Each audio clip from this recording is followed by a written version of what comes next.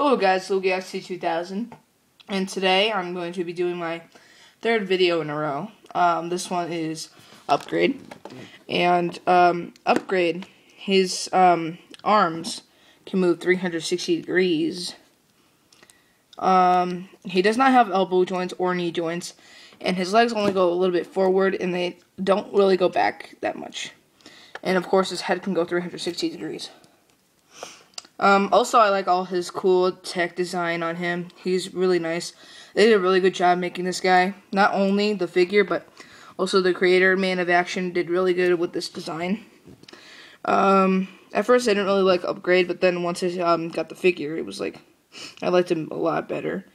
Um, he's really cool.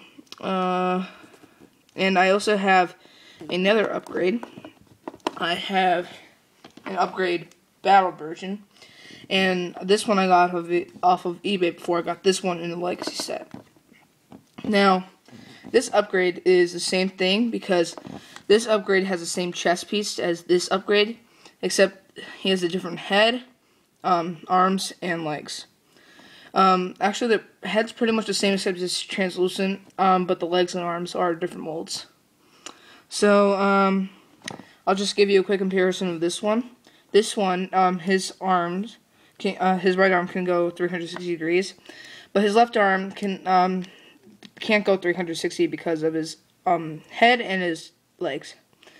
And his legs can go a little bit forward, not that much like the other um, upgrade.